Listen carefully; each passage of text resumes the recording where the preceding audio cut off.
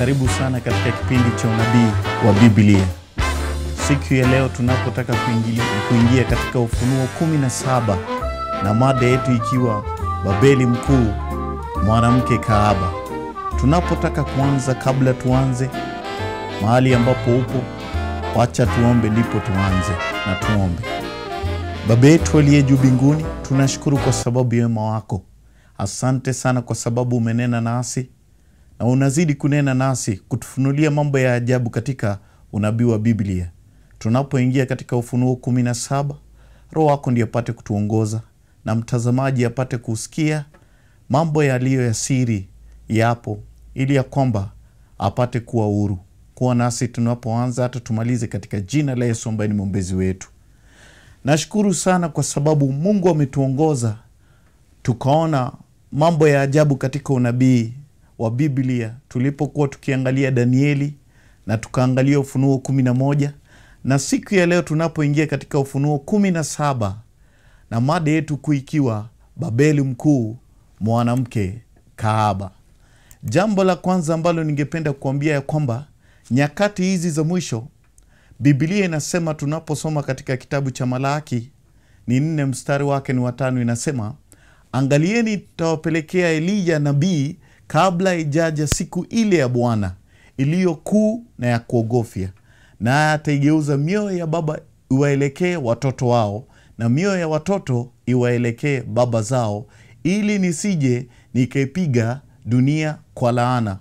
Mungu anasema kwamba kuna watu ambao watatumwa walio na roho kama ya Eliya, kwa sababu Elija wakati wa Ahabu kuna mambo kadha wa kadha ambayo alifanya, ambayo nyakati hizi za mwisho itabidi ya kwamba mtu aliye na roho kama Eliya apate kutumwa. Na tunataka kujua, je, mbona Mungu akasema ya kwamba atatuma Eliya nyakati hizi za mwisho?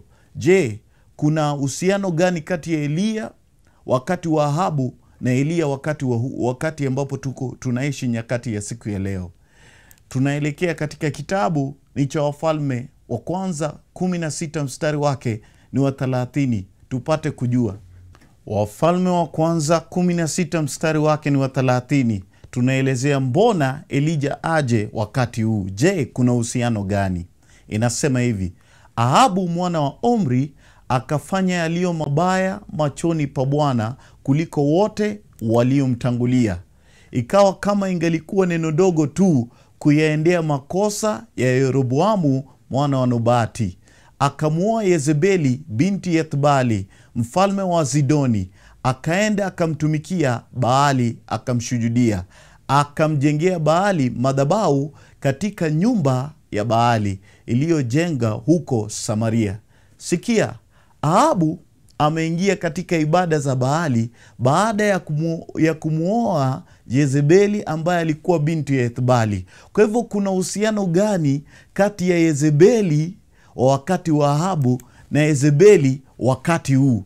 Nataka kueleza ya kwamba kuna mwanamke kahaba ambaye tunataka kumzungumzia wakati huu ambaye anafananishwa na Yezebeli wakati wa Ahabu. Ahabu ni mfalme wa Israeli, lakini anafanya kinyume cha Mungu, kinyume cha agizo cha Mungu ya kumuoa Yezebeli binti ya Ethbali ambaye alikuwa akimwabudu Baali. Kisha baada ya hapo Ahabu akaingia katika ibada ya Baali. Je, kuna mwanamke ambaye anaweza fananishwa na Jezebeli? Ufunuo ni kumi na saba mstari wake ni wa kwanza, inasema hivi Akaja mmoja wa wale malaika saba wenye vile vitasa saba, akanena nami akisema, njoo huku, nitakuonyesha hukumu ya yule kahaba mkuu aketie juu ya maji mengi, ambayo wafalme wa nchi wamezini naye, nao wakao katika nchi wamelevya kwa mvinyo wa usherati wake.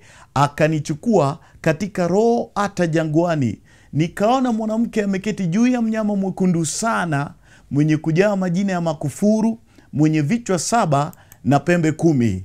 Na mwanamke yule alikuwa amevikwa nguo ya rangi ya zambarao na nyekundu, amepambwa kwa dhahabu na kito cha dhamani na lulu, naye alikuwa na kikombe cha dhahabu mkononi mwake kilichojaa na machukizo na machafu ya uasherati wake. Na katika kipaji cha uso wake alikuwa la jina limeandikwa la siri, Babeli mkuu, mama wa makahaba na machukizo ya nchi. Nikamwona yule mwanamke amelewa kwa damu ya watakatifu na kwa damu ya mashahidi wa Yesu. Nami nilipomwona nikastaajabu ajabu kuu. Ufunuo 17 mstari wake ni wa saba, inasema na yule malaika akaniambia, kwani kustaajabu, nitakwambia siri ya mwanamke huyu na ya mnyama huyu amchukuae, mwenye vile vichwa saba na zile pembe kumi. Kumbuka wakati ambapo tulikuwa katika kitabu cha Danieli tumekuwa tukiwaona wanyama, lakini tunapoingia katika Ufunuo 17 tunaona mwanamke ambaye ni mwanamke wa ajabu. Bibilia inasema ya kwamba ni mwanamke kahaba. Jambo la kwanza, alikuwa ameketi juu ya maji mengi, na ya kushangaza wakati yule uh, yule yule malaika anapomwongoza Yohana anaona ya kwamba yule mwanamke ameketi juu ya mnyama mwekundu ambaye ana vichwa saba na pembe kumi, na yule yule mnyama ana majina ya makufuru. Na jambo la ajabu ya kwamba yule mwanamke alikuwa amevikwa nguo ya rangi ya zambarao na nyekundu, na jambo la ajabu amepambwa kwa vitu vya dhamani, na zaidi ya yote ako na kikombe mkononi mwake ambacho kimejaa machafu, na katika kipaji cha uso wake Biblia inasema ana jina limeandikwa la siri, Babeli mkuu, mama wa makahaba na machukizo ya nchi. Sasa